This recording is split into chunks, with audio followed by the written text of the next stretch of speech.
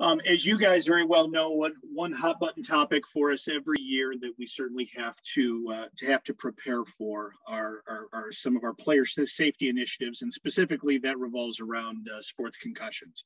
Um, something that we need to need to prepare for every season, and um, need to make sure that all of our coaches um, and, and, and active volunteers are all prepared accordingly. So a couple of housekeeping notes for you. If you go to our, our MAHA website, under the player safety section, um, there is a presentation on sports concussions and, and our protocols from a USA Hockey level. We are, as an affiliate of USA Hockey, we are required to have a sports concussion protocol in place to, to address those uh, specific issues.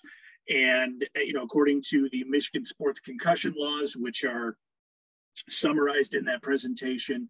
Um, one of the things we we need to do is make sure that all of our, our coaches and participants and volunteers um, uh, take take part in a, a free online um, concussion certification course. You can go to the CDC website to to fulfill that step.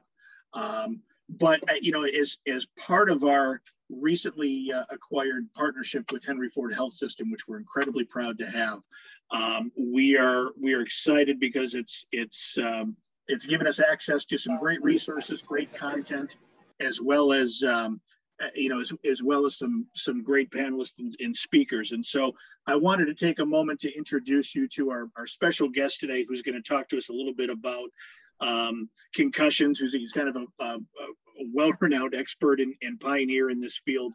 Um, Dr. Jeffrey Kutcher is here with us. Um, he is with the Kutcher Clinic, which is formerly the Sports Neurology Clinic. Um, he's an internationally recognized expert in sports neurology pioneer. Uh, he founded the sports neurology section of the American Academy of Neurology. Uh, he, he, is also a team physician for the U.S. Ski and Snowboard Association and served as the team neurologist for the U.S. Olympic team in, and, uh, in uh, 2014 and 2018 uh, during the Winter Games. He serves as the director of the, the NBA concussion program. He is also an advisor to the NFL Players Association as well as the National Hockey League Players Association. So uh, we are extremely lucky to have him here today. I know his time is uh, is limited with the football season starting up and things of that sort. So, Dr. Kutcher, I, I sincerely appreciate your time today and um, your patience with my relentless emails to, to get you confirmed and whatnot. But uh, you know, we're, we're really excited to have you. We're excited about this partnership with Henry Ford Health System and uh, the, the opportunity to have you participate with our first leadership seminar is a, is a, is a big deal to us. So welcome, thank you. And I'll, I'll stop talking. You can share your screen and uh, take it away, sir.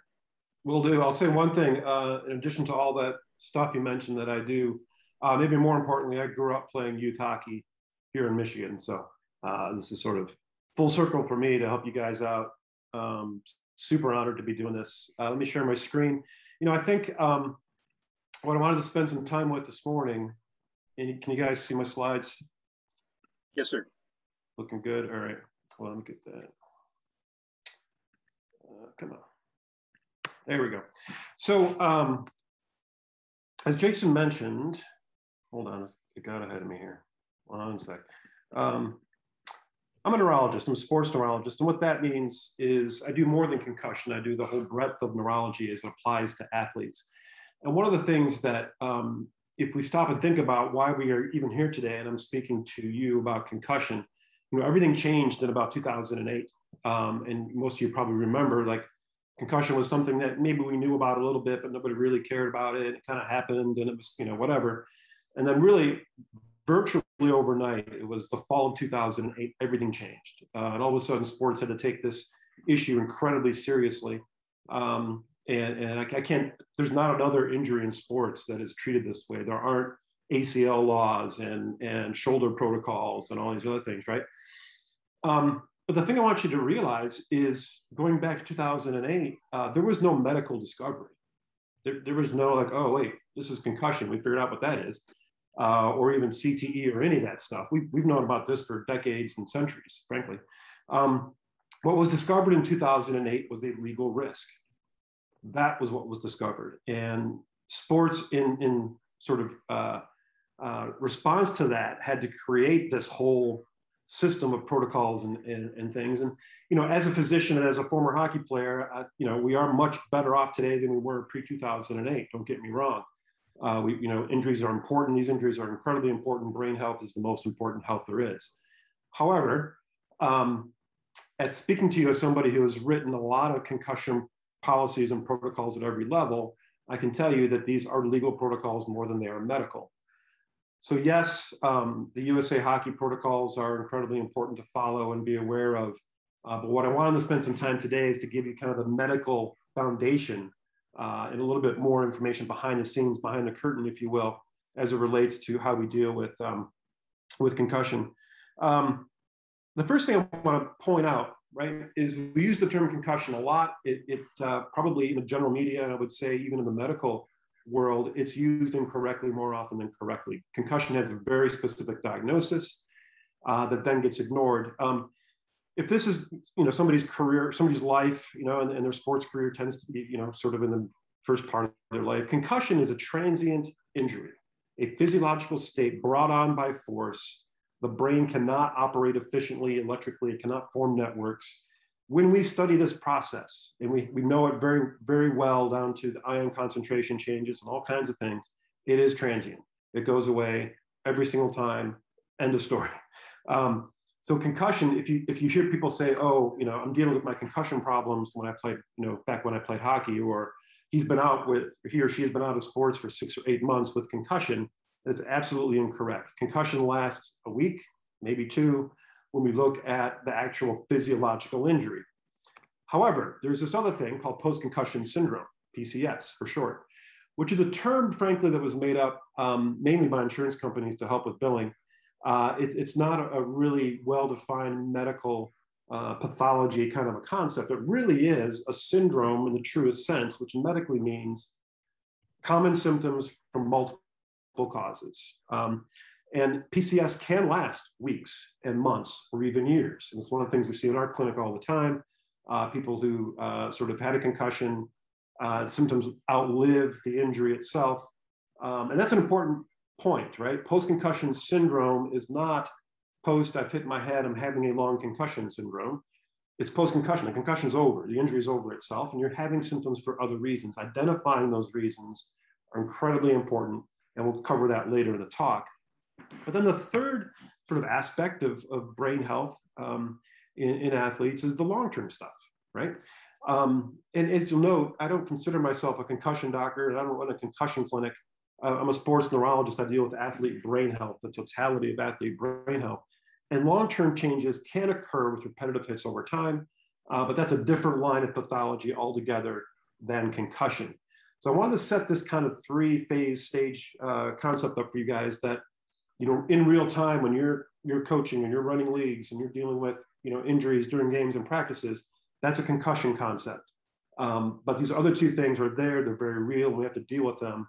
Um, but you know, nobody's come up with a post-concussion syndrome protocol that, that is overly simple. So let's talk about concussion. Um, what is it? I mentioned, you know, it occurs when the brain experiences force. Um, and, and quite, quite simply, think of it as a software injury. It is an injury of function, not structure. So basically, brains work by forming networks, billions of neurons talking to each other all the time, forming electrical networks. Uh, in the concussed state, that formation becomes inefficient, right? As I mentioned before, it is temporary. Uh, concussions do not require a loss of consciousness. That was a sort of an older concept that, you know, every once in a while you still hear that, but certainly do not need a loss of consciousness to be concussed. And frankly, it's maybe less than 10% of those injuries that involve loss of consciousness. And concussions can affect a wide variety of, um, of brain function. Um, so think of it really as a network injury, meaning um, it's not like a stroke or a tumor or, or a bruise or a focal, like there's a piece of my brain that was concussed. It's the entire brain is inefficient. I think of it, one analogy is kind of like Google Maps, right? Here's Toronto on a, well, anymore, maybe that's not Toronto, but maybe it's Toronto on an early Sunday morning versus Manhattan uh, anytime. And, and the idea is, you know, the, the roads are there, the highways are there, the information is just not flowing around like it should. But the other important thing to realize, and you may already get this concept from uh, your, your, own lives, your, maybe your own injuries or your kids or your players. Uh, concussion is a projection of the injury. But what I mean by that is what symptoms are produced, what clinical things you see as a coach or I see as a doctor is more an effect of that brain that went into the corner and got hit than it is the hit happening to the human brain. In other words, you go into the corner with a predisposition for attention issues or mood issues or migraine issues or neck issues or sleep problems or whatever it is, those are the things that are going to be predominantly presenting in the concussed state. So in this simple sort of uh, cartoon analogy, you have an injury applying to one person, you're gonna get a certain amount of symptoms that last a certain amount of time, exact same injury, different person, different presentation, right? That's different than any other injury we deal with. If I have 100 guys or girls who have an ACL injury, the, the exam is pretty much identical. The um, complaint is identical, but in concussion, it's not the case at all. And that, that's one of the things that makes my job and your job too, as, as stewards of, of this injury, uh, a little bit uh, slippery, I'll say, uh, a little bit more difficult. But certainly knowing your players, knowing your kids uh, is incredibly important in recognizing these injuries. Let me uh, talk a, a moment about concussion management. And this is something that um, you probably also have seen evolution. And you know, before obviously 2008, it was okay, whatever. Can you skate? Get out there, go. Uh, then it turned into this. Okay, you're concussed. I'm to pull you out, sit you, rest you, dark room. Don't do anything until you feel better. That is is as bad as the first way, and I'll explain why in, in a moment. Concussion management, which from a neurologist perspective has never really changed. It's just that uh, we weren't involved when, when sports kind of jumped into the fray and tried to make these very simple protocols. Concussion management really should be uh, divided into three phases, right? There's what we call acute rest, relative rest, and then graduated exertion. Now, acute rest, just what it sounds like. Um, I want you to do as little as possible. I want you to kind of shut it down. Um, but the trick to that is I'm never going to prescribe that to somebody unless that's all they want wanted meaning they feel so crappy, all they want to do is go in a dark room and lay on a couch. Um, I'm never going to take somebody who I'm diagnosed with concussion who, yep, has a headache, you know, dizziness, light sensitivity, but yeah, they could watch a game on TV or, or they could, you know, go to the store and take the dog for a walk, do that, right? So acute rest, that first phase, frankly, is something that we see maybe 25% of concussions. Symptoms are bad enough to make, you know, to have people like do nothing. Um, that second phase, relative rest, is where the majority of the first few days of concussion exist, um, which is to say you're doing relatively less than you would, right? So you're, you're, you're being physically active, you are cognitively engaged, you're doing some things in the environment, socially, whatever. Um, but you're just not doing as much of it. You're not doing anything, obviously, that's any kind of contact risk or impact risk. And then the third phase, graduated exertion, which um, you may also you know, uh, kind of refer to as the return to play protocol, which I hate the word protocol if you haven't figured that out yet.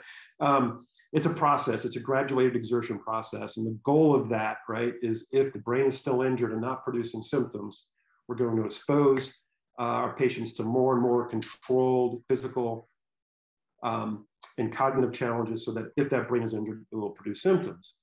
Now, hockey is incredibly um, unique uh, sport, obviously. Um, well, we understand that.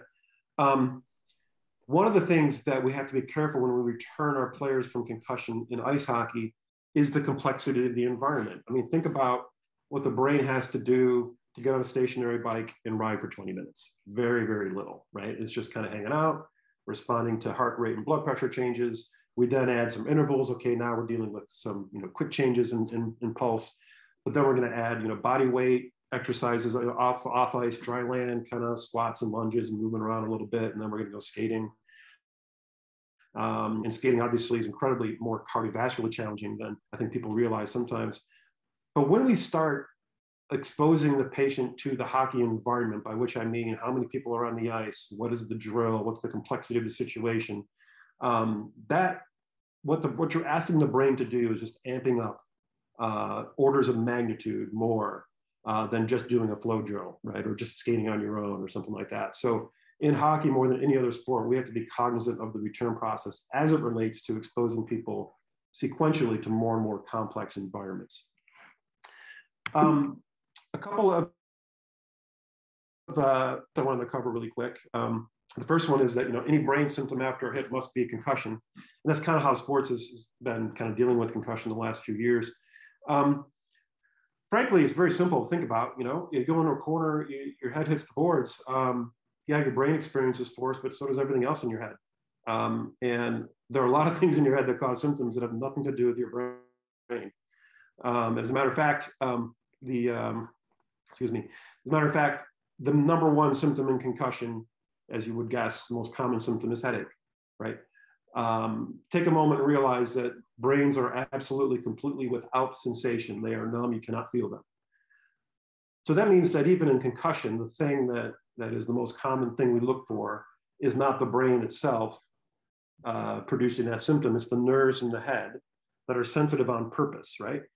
So it's very, very common for somebody to you know, get a, a hit to the head, irritate the nerves in the outside or the inside of the skull, create headache, and a bunch of other symptoms without even injuring the brain, right? So what that means to me is, especially for your, your role, is yes, we want to screen, uh, you know, and, and be aware of any symptoms that are produced after a hit. That's sort of, that's step one. And that should initiate a triage decision. Am I suspicious enough that I see a big hit? I'm concerned, concussion may be there. So it's a triage decision for let's remove you uh, for your safety, get you evaluated by somebody who can, you know, have this conversation and figure out the correct diagnosis. That is different than a diagnostic decision. And that's something that, you know, whether I'm writing my, pro my protocol for the NBA or helping out the NHLPA or NFLPA or whatever, our role as physicians, athletic trainers, coaches, parents is not to diagnose concussion during a game.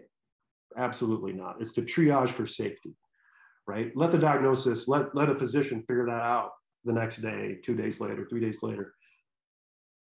Um, that's super important because obviously I can't tell you how common, it's so common. People come into our clinic, oh, I've had three, I've had five. And you, and you start taking a history, you look at videos of hits, you're like, uh, no, that, that's a post-traumatic migraine, that's a neck injury, that's a laceration on your face that caused a headache. Like, um, so you have to be really, really careful and understanding there's more out there that's going to cause symptoms than just concussion. So that's sort of myth number one.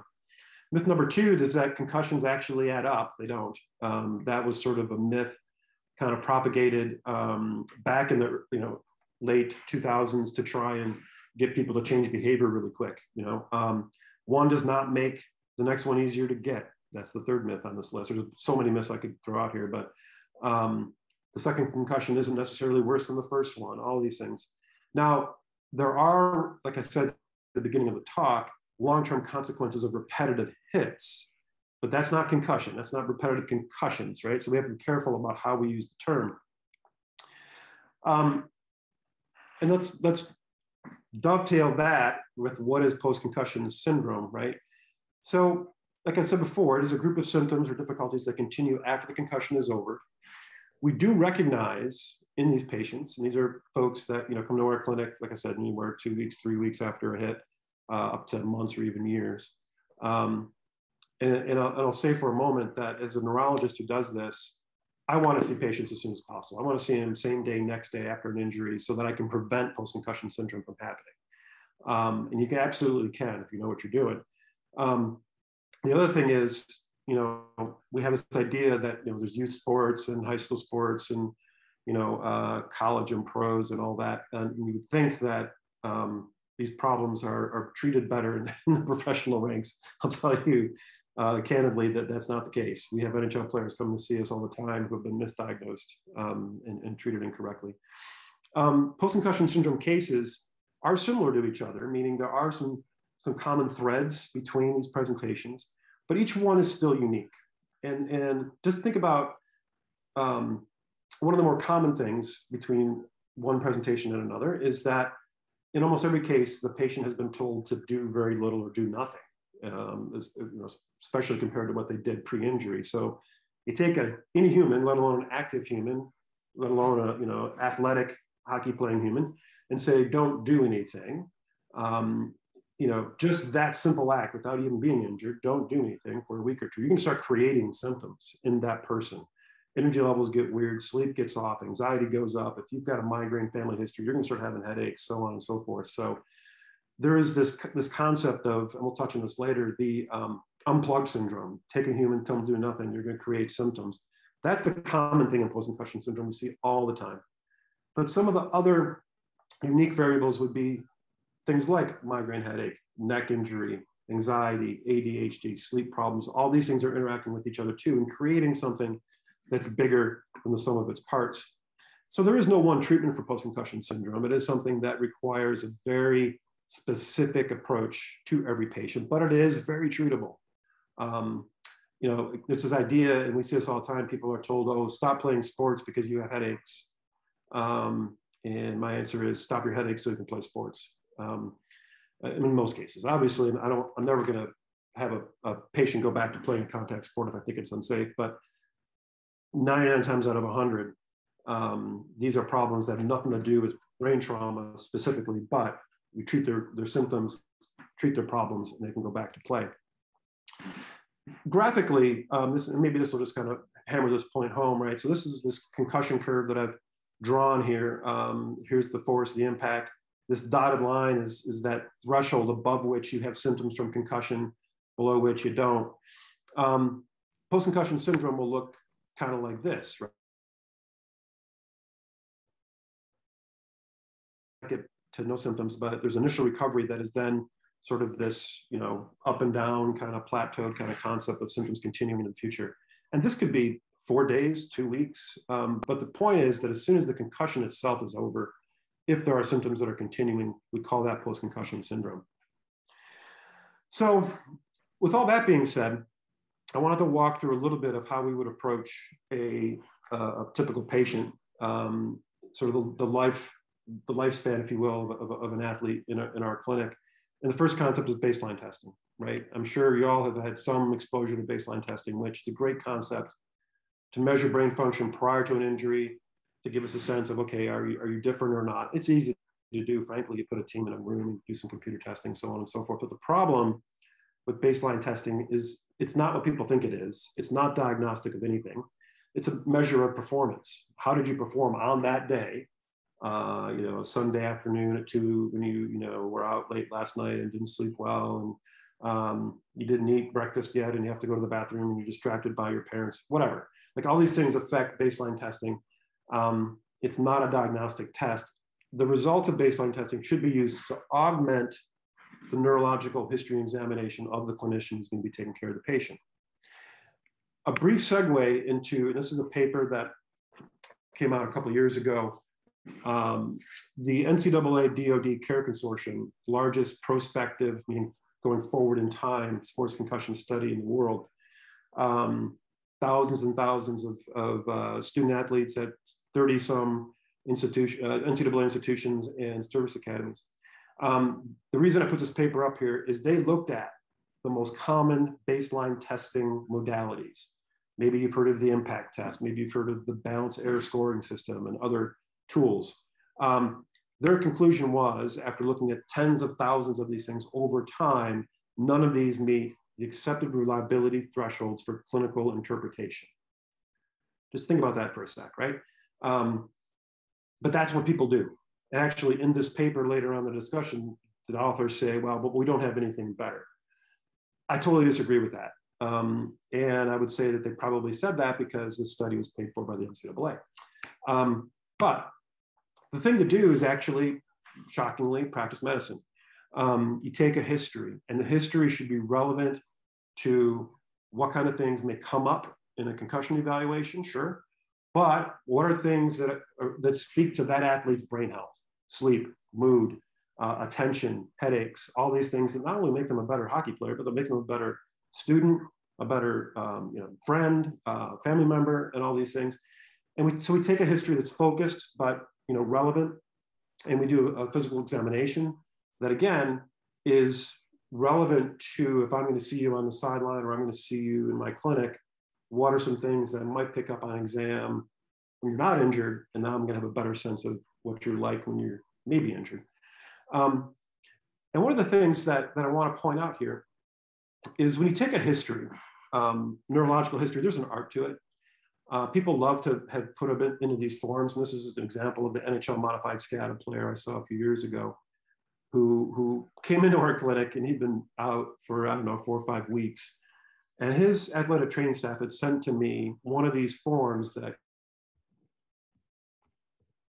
training room and they have him fill out this bubble form. He had one for every single day for four or five weeks or whatever. And that is a surefire way to get people to feel stuff. If you ask them to fill out one of these forms every single day, they're going to start feeling things. And towards the end, you can see what he was doing. He's like, oh, I, you know, neck pain, uh, I guess I'm a 0.5, whatever that is. You know, I, I scratched this out and, and it's zero, and I don't know, maybe I'm a two or one point, I don't know. And one of his main complaints to me when he showed up to our clinic was, Doc, I don't know what number I am. You're like, uh, that's not that's not helpful for anybody. So you take a history for us means talking to the patient, getting information that's clinically relevant. Um, doing our examination, this is just a, a, a example of the exam we've been doing with the US ski team for a while. But the point is, you end up with this kind of information. This is a quick story I'll tell you. This is a very small local high school that we covered. Um, I'm holding up a piece of paper there. That, that rectangle is blocking out the, the, the players' names. Um, very small team, football team, 24 or so kids. What, what's listed there are all of the examination findings that we had at baseline. Now, they're not abnormalities, they're how they performed on a neurological test because neurological function is, is definitely variable from person to person. And you can see there's some 13 or so um, uh, of the of the 20, like half of the kids had some finding, right? I'm holding this up because uh, this is in the third quarter of the game. Back in the second quarter, we had a player, a linebacker, not really well known for his sense of control, kind of diving into the pile at the end of the play right in front of our bench. Um, you know, he's the last one to get up. He's kind of moaning, grabbing his neck. So we stabilize his C-spine, clear that, make sure it's not a neck injury. Um, but he's clearly in some distress. He's not remembering really what's going on. So four minutes to go in the second quarter, we walk him to the locker room, start doing our evaluation. I find that his eye movements aren't great. He can't follow my finger uh, as, I, as I ask him to uh, follow the finger smoothly. Can't do that really well. He can't uh, do a test we commonly do of standing on one foot with your eyes closed and doing a little bit of a squat. He also can't remember the second quarter at all, doesn't remember the play, uh, is a little bit confused, right? So you would think, okay, concussion, right? Well, he's the second one from the bottom on that list. That says Saccades on pursuit. That's exactly what I found on the eye movement part. Saccades means you cannot smoothly pursue something with your eyes. Poor single leg couldn't squat. Turn that piece of paper over, and there's a list of all of the exam or the, uh, the history findings. And for him, history of anxiety disorder and panic attacks. His mother comes in the, the locker room after halftime and says, Oh, this is what happens when he gets pain, he hyperventilates, uh, he has a panic attack, and th- that causes this sort of mental status confusion. Completely different explanation for the presentation. Um, and that's helpful baseline testing, right? That, that's baseline testing that made a difference in this student athlete's life because we spared him a concussion diagnosis. Now, getting back to that triage decision versus diagnostic decision, did I let him go back in the game? No, because he still could have been concussed. I didn't know that until I spent more time with him, watched him over the course of the second half. We saw him after the game, we saw him the next day, never produced another symptom or, or difficulty. So, no, we did not put him in the concussion protocol, despite the fact that he did not remember the second quarter of the game. Um, that is, again, clinically useful information from baseline testing. We do that every season with every contact sport athlete. Um, another thing to think about, I mean, we do this in the summers, obviously more than other times of year. Every summer, uh, we pick up at least one, sometimes two, and at the most is maybe four per year of a student athlete um, who is actively suicidal. Uh, obviously, it's a huge problem, right? Um, and just so just asking the right questions in that setting. And yeah, that's four, four or five kids out of, I don't know, we do 700 or so a summer probably. But yeah, so we, we you know, we can make a difference if we ask the right questions. Um, those are the kind of things that, that I would say is that that's useful baseline testing. Um, let's touch back on concussion a sec. Here's, here's the network injury I mentioned before. I mentioned that not all brain pathology causes a clinical effect. But what I really want you to realize, um, if I took everybody on this call right now, right, and I gave you the same hit to the head or something happened to you, um, injury will be created if that force is enough to cross what we call the injury threshold. Now, if I gave you all the same hit to the head, I'm going to get some fairly tight um, amount of in, in, injury, meaning like there might be some variability from one person to the next, but it's not going to be terribly different. Um, however, if I could magically put the exact same amount of injury into each of you, uh, I'm going to create a, a, different clinical outcome. Um, and the symptom threshold concept is what we kind of refer to in this scenario. So think about um, this, this, this common situation that I get in clinic. Uh, a patient comes in with mom and dad. Uh, I've had five concussions uh, or three or whatever. And, you know, my parents don't want me to play hockey next year or, you know, I'm not going to go to college and play hockey or whatever the situation is. Um, and you talk to them and they've had five diagnosed concussions and everyone was you know a pretty decent hit and it caused a two week you know kind of kind of clinical syndrome um, versus the exact same person comes in a clone of the same person who's had the exact same number of hits who says doc i have zero diagnosed concussions who am i more concerned about as it relates to long-term brain health the answer is the second person and the reason is if i have a lower clinical or symptom threshold. When I'm injured, I will produce symptoms. I will know it. My coach will know it. My parents will know it. My doctor will know it. If I have a higher symptom threshold, I'm getting the same injury. I'm having the same hits. My brain isn't producing symptoms. And therefore, I've got zero concussions. I see this every year. I, I do a lot of work with the NFLPA, for example. and We do a lot of combine work uh, running backs. I had a running back from the SEC school, SEC school this year, you know, four year or three year starting running back who had never been diagnosed with a concussion in the SEC. I'm like, eh, yeah, okay. I'm sure that's not true. um, but he had a very high symptom threshold. The point is, people who don't produce symptoms are more likely to be playing injured. So that's just, I wanted to give you that kind of nuance because that's like, all right, you're telling me, doctor, that, that the number of concussions not only doesn't matter, but it may be helpful. And it, it can be in the right situation. Um, I already mentioned that these these points, so I'll, I'll uh, move on. But um, a, a, brief word on on sort of the types of symptoms that develop in concussion. I already mentioned the headache is actually uh, a response of the nerves to the brain injury, but these are sort of the common ways we uh, categories we define the symptoms in. You know, cognitive aspect of it, the physical aspect, the mood aspect, and the sleep.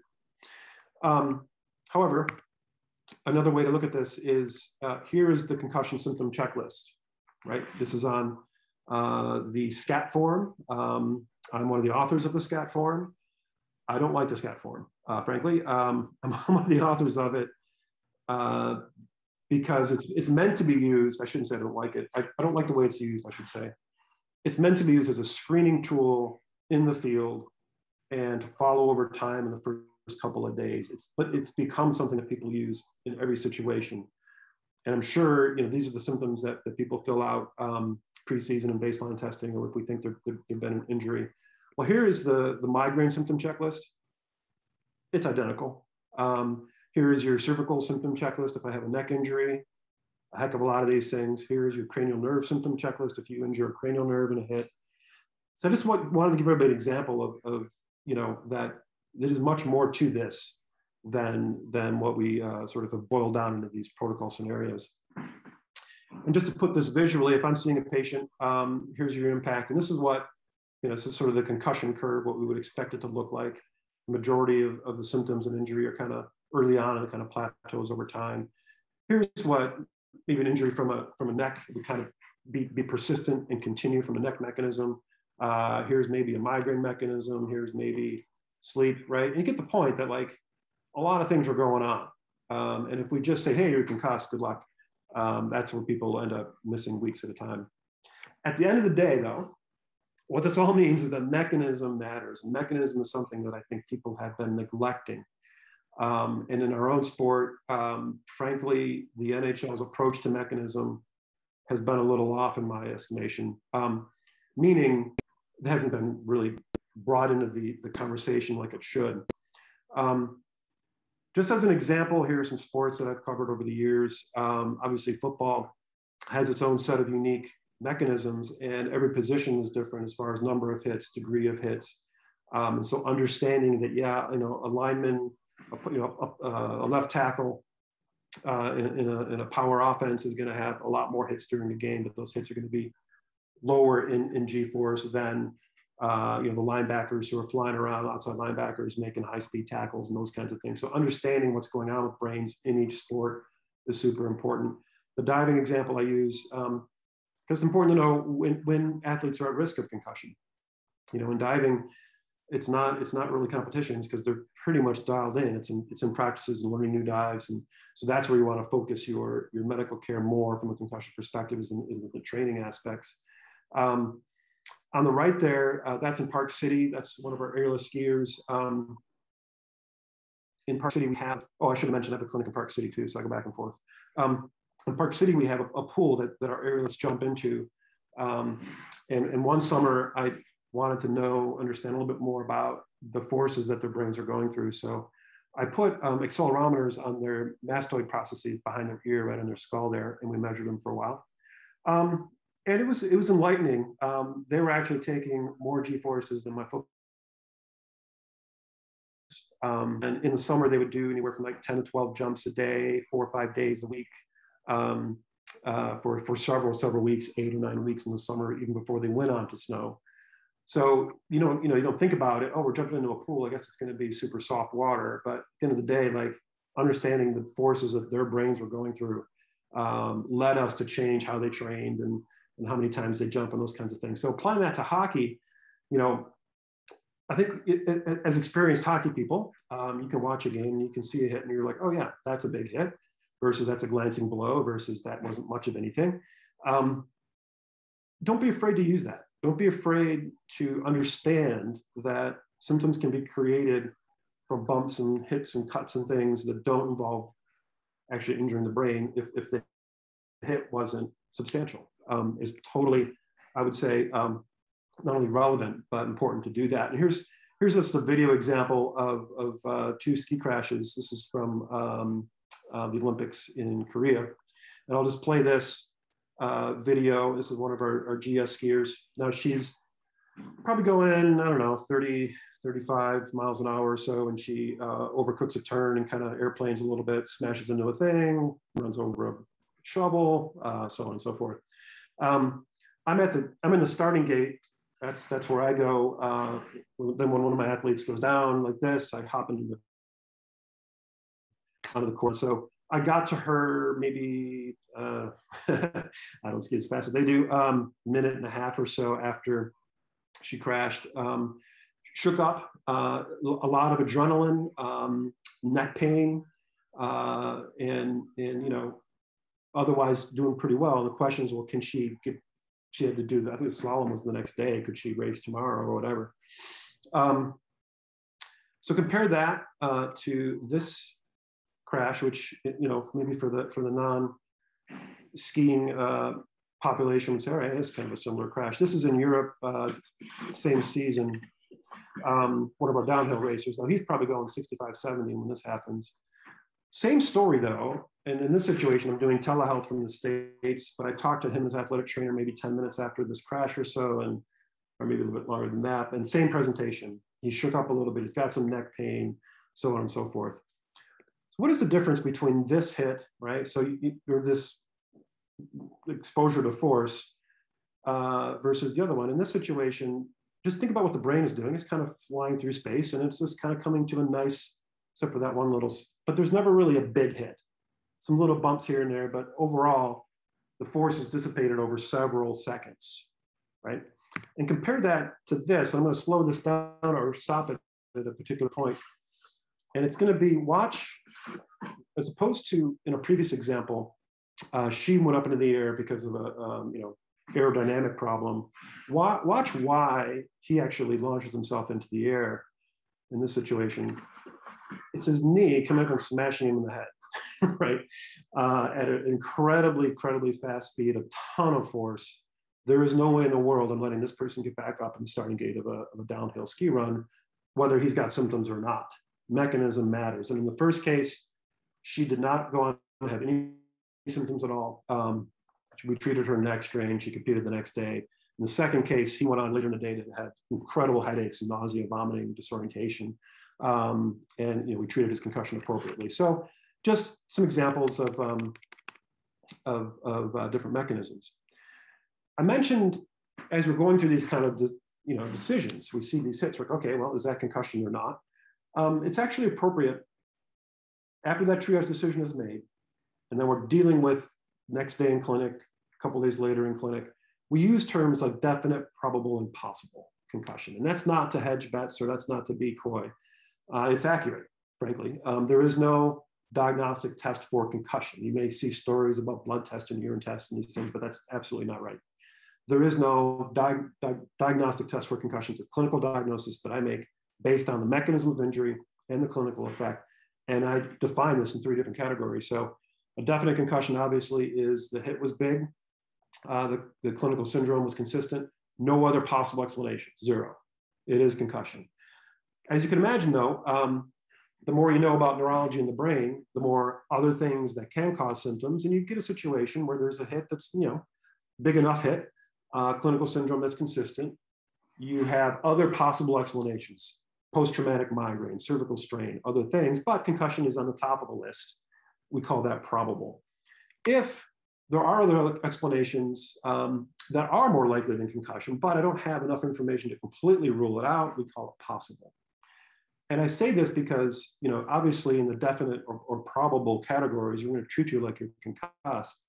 But in this possible concussion scenario, you don't really have to. And it really depends on the situation, uh, the resources around that athlete and the family support and athletic training staff and all these things. Um, again, the whole point of that, what I wanted to get across in this talk is there's the protocol and then here's reality. Right? reality is much more complicated than what people realize. Okay, a um, couple quick things on post-concussion syndrome. Um, I'm sorry, I got a couple repetitive uh, slides in here, so I'm just gonna go through those real quick here. Um, as I said, post-concussion syndrome, right, is this, this concept. Um, what I wanted to say here is you know, once we identify all the different things that could be causing a post-concussion syndrome, we understand that it is a bigger sum than, than just the sum of its parts.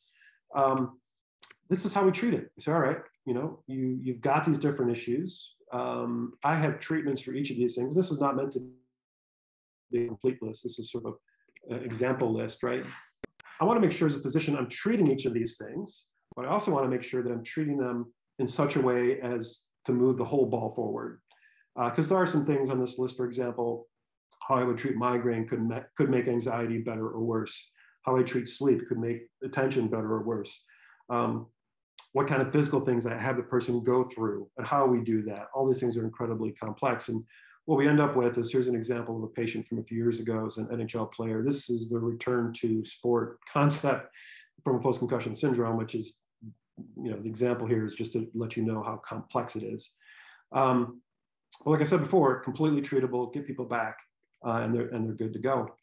Now, let's spend a second on this graphic that, I, that I've kind of introduced you guys a little bit and gone through quickly. So this is sort of this lifespan of the athlete again, right? So we have baseline testing that occurs every year on the outside. We have concussions that occur. We return them to play. We have this post-concussion syndrome concept. We may return them to play, but each patient, we pass through this kind of long-term brain health filter, we call it. And for me, that, that, that's the most important thing I do, is step back and look at the bigger picture. Um, as a neurologist, I understand the importance of, of uh, sports to brain health. Um, there are so many, so many things that are, that are a benefit from, from playing sports. And then if you identify yourself growing up playing hockey or soccer or skiing or whatever it is, I'm a hockey player, I'm a soccer player um, that becomes not only you know your hobby and, and, and what you like to do, but it becomes an identity thing. Um, it's how you see yourself. Um, and so, you know, I hear too often um, just people making these kind of knee-jerk decisions about, oh, stop playing because you've had three. Oh, we don't want that fourth one because something bad's going to happen. And then, so they end up not playing. And then they come to my clinic a few months later uh, with headaches and they can't sleep and they're depressed and their grades are crap. And you're like, all right, um, I'm pretty sure I know why that is. Let's get you playing hockey again. And sure enough, like nine times out of 10, uh, it was the, the, the, removal from sport that people didn't take seriously is what that means. Um, and so that's, that's something that we all, every patient we, we talk to, um, we have that conversation. Um, you know, I would say even, even in the high school ages, we're, we're talking to them about, all right, well, what happens when you're not playing hockey? um, meaning, meaning when you finally leave the sport, what's your plan? So a lot of our patients, yep, they're just going to go to college and they're good. A lot of patients are like, yeah, I'm going to try to go pro. I'm playing college. I want this, this big career. And, and a lot of our players in Michigan, obviously, youth players have that dream. Um, we always talk about, well, you know, there's going to be a transition at some point out of hockey, and that's going to be hard. Um, so let's prepare for that. But as I'm sure you're all aware, the big elephant in the room um, is this concept of CTE, uh, chronic traumatic encephalopathy, right? Um, again, was not discovered in 2008 like a lot of people think it was, or whenever um, uh, Dr. Omalu kind of came out with his first paper or whatever. Uh, that, that was again a, sort of a discovery of, of risk and, and that kind of a thing. Um, uh, completely misunderstood, misrepresented in the media and, and frankly in medicine too. Uh, CTE, as, as there on the left, um, is really a pathological finding. It is what a brain looks like. On the right side of that square um, is a brain with sort of classic CTE findings, and the left is sort of normal brain. Um, however, there's a difference between what tissue looks like uh, under a microscope and what is, what is it doing to the person. Um, and on the right there, we have a term traumatic encephalopathy syndrome, which uh, people really should be talking about more. That's the thing that's happening to the person memory, mood issues, the things that happen later in life. The problem with this conversation, one of the many problems, is uh, CTE um, basically, you know, any amount of, of that tau deposition, that brown stuff in the, in the brain there, any amount that's found in the brain is okay, labeled CTE, oh my gosh, you know, but the reality is that if you show, um, uh, you know, pathology slides to a, a, room full of pathologists randomly selected, you know, uh, this stuff shows up for a lot of other reasons too. Um, and it's and it's with only with the addition of the history. Oh, this was an NHL player. This was a boxer. This was whatever. Oh, this must be trauma related. Where where it's not. It's it's just simply not that easy. Um, so for me, you know, when I'm counseling and, and yeah, we, we, do this on our youth hockey players and all the time. It's like, you know, oh, we really want, you know, uh, her to play hockey and, um, you know, but, you know, her brain's more important and um, worried about concussions and what about CTE and all these things. One of the things to remember, and, and I'll, I will give you, uh, CTE is a real thing. You know, it does happen. Um, the pathological changes with repetitive hits and the sort of, you know, dementing progressive problem later in life does happen. Um, I've seen it in my clinic. We still see it um, too often, I would say. Um, however, uh, the scope of the problem, again, is misunderstood and misrepresented. Um, if we look at the population that's been studied the most, that would be NFL players, former NFL players specifically. There's a group that was studied. These are guys that played from like the mid 60s to the mid 80s. So back when the sport was much more, you know, physical, barbaric, helmets were terrible uh, more hitting for sure. People you know played injured all the time. Um, that group uh, back then it was a five years in the NFL. You were fully pensioned. If you're fully pensioned, you were enrolled in the study. The study um, that was conducted by NIOSH uh, followed this group of guys, like 4,000 guys or so, um, over time. They followed them from mainly like mid 90s when they started really looking at them to about 2008, right before this whole thing changed. And this population was looked at for all kinds of stuff blood pressure, diabetes, drinking, whatever. Um, and then started reporting on, on you know, causes of death, diseases seen in, in people as they died, and came to the conclusion, um, a very, very solid data driven conclusion, that there is a risk if you played in the NFL in that time period, five years or more, um, you are at increased risk of having a dementing illness. Um, and think of that as Alzheimer's or any other type of dementia, but uh, threefold risk in general, depending on the age. And that got the headlines. And that was part of the, oh my gosh, I NFL, you're killing people. Oh, what are you doing? Like, this is terrible. And it is terrible, don't get me wrong. And the threefold risk is a real risk. Um, well, what people don't then stop and tell you is that, well, that means the risk went from 2% to 6%. So if the story is that 94% of NFL players from the 60s to the 80s are fine, neurologically speaking, that's you're not going to make a movie about that. You're not going to make a career scaring people about that or, or telling them about that, right? Um, and so, real problem, however, not as common as people realize. if you have a primary relative with dementia, your risk goes from 2% to anywhere from 15 to 25%. So, you know, everybody's focused on the sports and football and all that, you know, but well, family history is probably much more important. And so when I'm counseling, you know, athletes in our clinic in real time, family history is super, super important in, in this way. Um, I, I, know that's something that, you know, you guys aren't going to have to deal with obviously day to day in hockey, but yeah, it, it, comes up all the time, obviously, is, you know, when do I stop playing and e- even recruiting people to play sports like this anymore, although Michigan hockey is not, not a hard, hard sell. Um, uh, I just wanted to point that out that it's not as big of an issue as people, uh, people seem to think it is. Um, and then finally, and then open up for some questions here. Um, you know, this long-term brain health concept, like I said, uh, is an opportunity to monitor for ongoing symptoms that is more, more than about just playing sports. It's about quality of life. It's about um, uh, grades and social uh, success and all that stuff. I, I, mentioned family history is super important. And we, we talk about what we call the health quotient of sports, meaning I've hinted at this already, right? There's an incredible positive from playing sports. What is that versus what are some of the negatives? Um, and I would say across the board that um, people focus way too much on the negatives and don't even consider the positives when, when they're making these long-term decisions. At the same time, I always want to make sure that my, my contact sport athletes are playing contact sports for the right reasons. Uh, they love the sport, um, you know, it provides good things and not because, you know, expectations of the parents or whatever. So we always talk about kind of, let's make sure we're playing the sports that we want to play. Um, annual dose of force is important. And what I mean by that is in this area of medicine, obviously there are a lot of unknowns. One of them is, well, how, how many hits are too many hits? And the answer is nobody knows. Um, however, I like to practice what I what I refer to, and maybe you've heard this term, evidence-based medicine, right? Um, it's all over the media, obviously, regarding COVID, but there's, you know, evidence-based medicine is great. When we have evidence, science is science, go.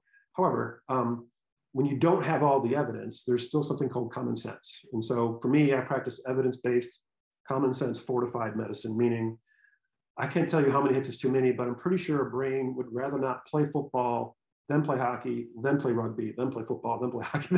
so, you know, um, we're always counseling people to, you know, uh, if you're playing multiple sports, for example, let's not play multiple contact sports. Um, if it's a football analogy, um, you know, in some of your smaller schools, a lot of kids play both both directions, right? They're linebacker and running back. All right, well, let's pick a side. Um, just common sense stuff makes sense, as well as what does the future hold, right? So if I've got somebody who maybe has some concerns, having some headaches or some issues, and they're not sure if they want to keep playing hockey, and they've got one more year at Concordia, versus you know they're at the University of Wisconsin and they're drafted, um, the future is different. The future exposure to force is different. So in the Concordia example, they've got one more season of of college hockey, and another example, they've got many many years, hopefully, of NHL hockey. So understanding what's in the future for people makes um, these decisions more complex as well. Uh, that's that future exposure risk. And then, you know, the retirement decision I talked about, like we always uh, kind of bring that up in one way or another to get people prepared for it um, and to really get them to start thinking out, outside of kind of what's right in front of them. Um, and then obviously we're, we're educating and planning with, with our patients every time we, we, we come in contact with them. So um, that's what I wanted to present today. And this is, um, like I said, a great opportunity. Uh, I'm super, super happy to address the group. Um, I, am sorry if uh, you came to this talk hoping that I would clarify some things and make it simple. I, hopefully I clarified some things and just gave you a sense of the, the bigger issues that we're dealing with out there uh, in, in the world. Um, as I mentioned, and I think Jason so mentioned too, so um, the Kutcher Clinic, our, our, home base is in Brighton um, right off of 96 there on, on Grand River. Um, I have a, a, clinic though with Henry Ford uh, down at downtown at the Pistons Performance Center um, that I'm at every week at, at, some point. And then we have our, our, our, Western clinic is out in Park City, Utah, and I fly back there every once a month or so. But um, we're always doing telehealth back and forth. And so one of the things that I really want to stress is getting in to see us should be super easy. I've got staff, we've got people always um, uh, who can get people in quickly, uh, do physical in-person visits if we can, telehealth if we can't, just to get things going in the right direction. Um, to me, that's that's one of the things that we really, really need to focus on is getting the diagnosis right, managing these patients accurately, um, getting them back to play because it's super important, uh, but doing so in, a, in, an efficient and healthy manner. So um, with that, you know, I'll leave it there and uh, see if you guys have any questions or comments or anything else. Once again, uh, first off, uh, Dr. Kutcher, thank you so much for for taking the time to give us this presentation. This is uh, this is much better than our than our our standard concussion protocol presentations and things of that sort. Certainly, certainly much uh, much more detailed, and I, and I, can't thank you enough for this content. Um, once again, if anybody has any questions for Dr. Kutcher, feel free to um, just to share your, or excuse me, just to uh, turn your camera on, and I can go one by one and um, and, and allow folks to to chime in Dr. Kutcher, one question I wanted to ask is I, you know, I work with um, USA Hockey and its, its player safety committee on some, uh, you know, some of their programs and policies, and we share ideas just based on on things like concussions and things of that sort. Of one of the things we're talking about right now is trying to come up with some sort of effective way to provide data to either to USA Hockey or um, or even just to have data on hand as a as a, a, local affiliate as a governing body here for incidents that we get over the course of of the year. I guess we're trying to understand maybe at, at different age groups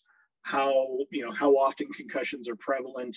Um, you know maybe that's something that we can use to examine you know examine potential rule changes or policies that, that we need to put in place.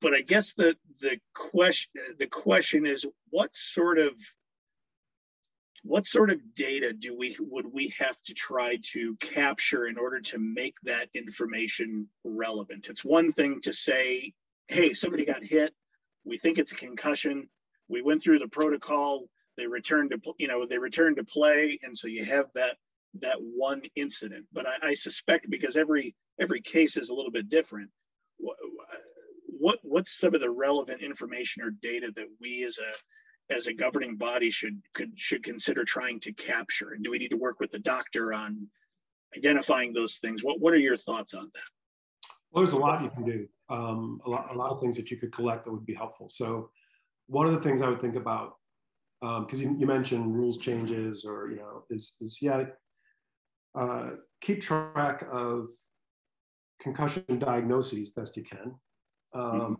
and that, that should be relatively straightforward based on, you know, they went into a protocol, they came back, that kind of a thing. Um, the, the less uh, easy, but I, I, think equally important would be, well, how many times were they pulled and evaluated as, as the bigger number? What mm-hmm. percent of those were diagnosed with concussion? Of those concussions, what were the mechanisms? Um, and what was the duration of, of the process before return to play in each of those diagnosed concussions. Um, in, in a general sense, I'll give you some just some data examples. Um, I, I, have found over the years that I would I would be comfortable if we were just on average evaluating twice as many people as were being diagnosed. Just a, mm-hmm. a general concept, and that's in the NBA, actually, that's pretty darn accurate almost every year. We'll have maybe a little bit more. We'll have like 30 some diagnosed concussions. We'll do like 75 evals per season, something like that. Um, the NHL data is roughly similar as far as like number of evaluations versus number of diagnosed concussions. And to me, what that means is we're we, we want to be, you know, kind of capturing a larger population. We don't want to get crazy about it. We don't want to be doing 3,000 evaluations for 10 diagnoses. Sure. But we don't want to be doing 50 you know, evaluations for 49 diagnoses either. That, that means you're probably missing some. So getting data on how many kids are being pulled and evaluated, um, like I said, that, that would be helpful. From the mechanism perspective, um, you know, we don't want to get too crazy with it, um, meaning, again, at the NHL level, we've had conversations about, um, you know, the outcomes from a hit, shoulder to head, head hits the board versus shoulder to head, head hits the ice, like crazy stuff. Like, no, the brain doesn't know which immovable object it just hit, right? The ice and the boards are equally hard. Um, but as far as um, when it comes to safety issues, uh, what what is the general play? Is this open ice, right? Um, is this something in the corner? Um, and I can tell you, based on, on, on you know, knowing the sport and from NHL and college, uh, the vast majority of concussions, as you can imagine, happen in the corners, and, and it's the fenceman in the defensive zone. Mm-hmm. That's still probably the biggest. If you look at a map of the ice where these injuries occur, that's where they occur the most. Um, and yeah, so we've already, you know, changed some of the icing rules over time and done things to help that out. But um, so tracking mechanism, location on the ice, um, was it, you know, uh, clean body check, headshot, um, you know, even, even a cross check scenario, puck to the head. Just keeping a general list of that kind of stuff would, would be helpful for sure. Um, yeah, those are some of my initial thoughts. Okay, great stuff. Great stuff. Uh, once again, final pass. Any questions for Dr. Kutcher?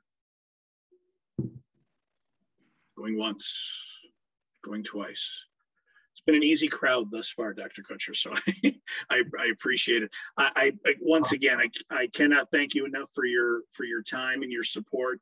Um, eh, you know, uh, this has been a tremendous, uh, a tremendous presentation. Again, we we've recorded this, so we're we're more than uh, we're, we're more than excited to share this content with the rest of our, our community uh, and our, our local associations here. And as, as, a, as a, a, player yourself and somebody who grew up in the game, we're, we're extremely honored to, to have you as a, a part of our community and, and uh, your, your willingness to participate today is greatly appreciated. I know you're, you've got a lot on your plate these days. So, um, but thank you so much for, for your help. certainly if there's anything we can do for you, by all means, reach out anytime.